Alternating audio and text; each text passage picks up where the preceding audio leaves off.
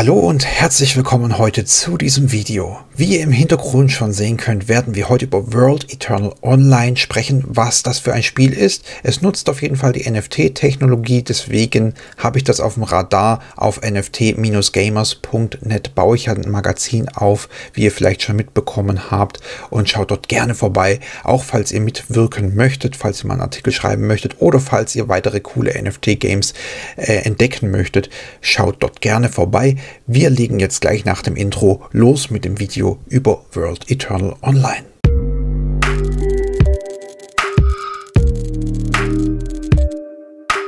Wir befinden uns hier auf der offiziellen Webseite, die verlinke ich euch unten in der Videobeschreibung auch noch. Ich finde dieses Spiel höchst interessant. Ich habe mir mittlerweile sehr viele Games angeschaut, die die NFT-Technologie nutzen werden. Falls ihr das nicht kennt, was NFT bedeutet und was das für einen Mehrwert haben kann in Games, schaut unten in der Videobeschreibung oder im Infokasten vorbei. Da habe ich ein Video drüber gemacht, was die NFTs in der Gaming-Welt erklärt, wie das funktioniert. Hier auf der Webseite seht ihr, dass man kann einen Discord natürlich joinen. Da habe ich einen guten Eindruck von. Die haben sich viel Mühe gegeben, den Discord gut zu strukturieren. Wir möchten aber darüber sprechen, was uns in diesem Spiel tendenziell erwartet. Wir wissen leider noch nicht viel drüber, was das Gameplay angeht. Wir haben keine bewegten Bilder zu den Spielszenen momentan zum aktuellen äh, Zeitpunkt, wo ich dieses Video aufnehme, sondern wir müssen uns momentan mit Bildern begnügen und mit einem Artikel, den ihr auf nft-gamers.net findet, den ich vor kurzem verfasst habe. Es ist ein Sandbox-MMO, wie ihr hier unschwer schon lesen konntet. Ja.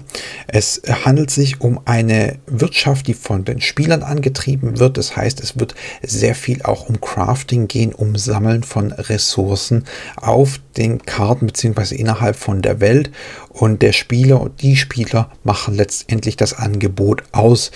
Und da sind natürlich auch NFT-Items mit am Start. Und hier seht ihr auch schon, dass es äh, verschiedene Zonen gibt, die unterschiedliche Umgebungen bieten, also hier Abwechslung geboten wird, verschneite Landschaften, Sumpflandschaften und so weiter. Dungeons wird es geben, es wird Bosse geben und die wird man auch in quasi einem Raid-Modus äh, äh, bezwingen können letztendlich. Äh, Events werden auf der Welt passieren und PvP wird auch eine Rolle spielen, insbesondere für Gilden, die dann um Territorium kämpfen oder auch ähm, Festungen belagern und sich eventuell auch abnehmen werden, also Ter Territorium sich gegenseitig abzwacken oder vielleicht sogar die Festungen, die zum Territorium dazugehören. Da wissen wir noch nicht so allzu viel Genaues drüber. Earn while playing. Wir haben darüber auch schon gesprochen in dem Video.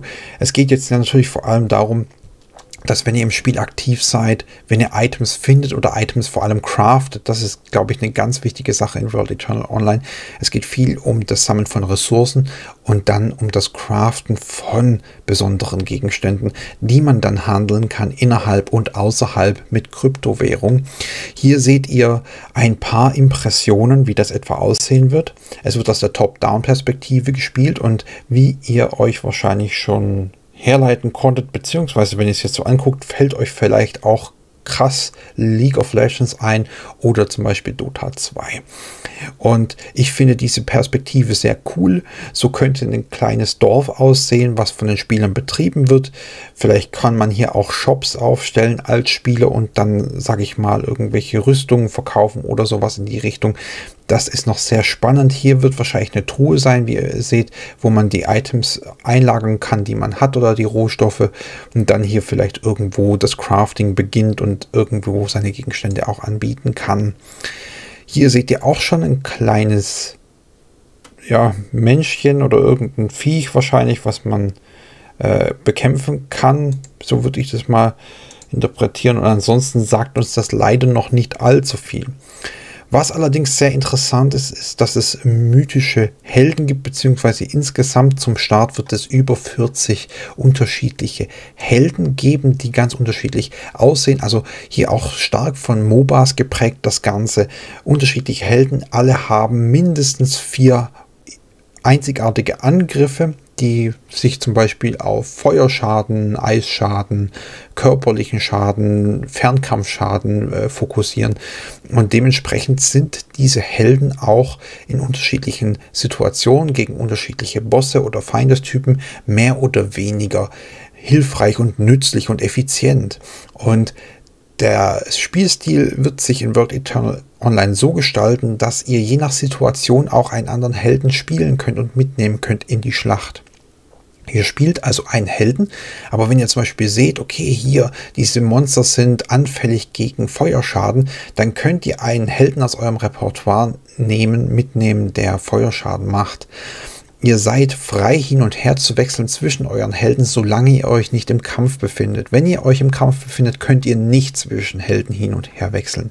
Das ist wichtig zu wissen. Und hier wird auch gesagt, auch sogar zwei Helden desselben Typs werden Unterschiede aufweisen.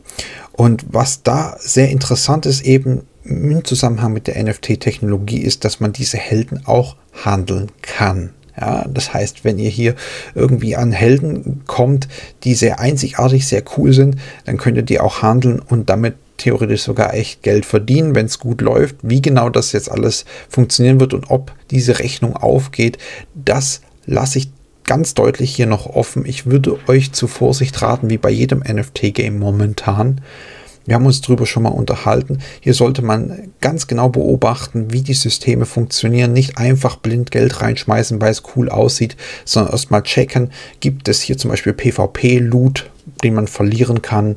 Äh, wie ist der Gameplay-Loop gestaltet? Macht es langfristig Spaß? Und erst wenn man hier einen Eindruck von bekommen kann, würde ich euch raten, da vielleicht dann mal anzufangen, Geld zu investieren denn sonst geht ihr da quasi blind rein und das ist ja Kamikaze-Modus letztendlich.